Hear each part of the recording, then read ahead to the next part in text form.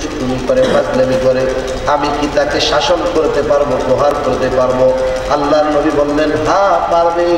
অতটুকু, যতটুকু তুমি তোমার সন্তানকে করে থাকো, সাবধান। এর বেশি যদি তুমি করো, তাহলে জুলুম করা হবে। আর সতর্ক থাকবে, সাবধান থাকবে। কখনো তুমি ইয়াতিমের ভালো মালের সাথে তোমার ভালো মাল বদল করবে না। এত সতর্কতা ইয়াতিমের ব্যাপারে আল্লাহর নবী করেছেন। আর আমাদের ভিতরে সেইটা নাই। আজকে মাদ্রাসার ভিতরে ইয়াতিম থাকে। এই ইয়াতিমটার সাথে আমরা খারাপ আচরণ করি। অথচ তার প্রতি আমার সহানুভূতি দেখানো উচিত ছিল বেশি। অনেকের কন্যা আছে ইয়াতিম। অন্যর ঘরে থাকে, চাচার ঘরে থাকে। আমরা তাদের যত্ন নিতে পারি না। অথচ আমাদের যারা স্বাবলম্বী ছিলাম, উচিত ছিল ওই মেয়েটাকে ভালো মতো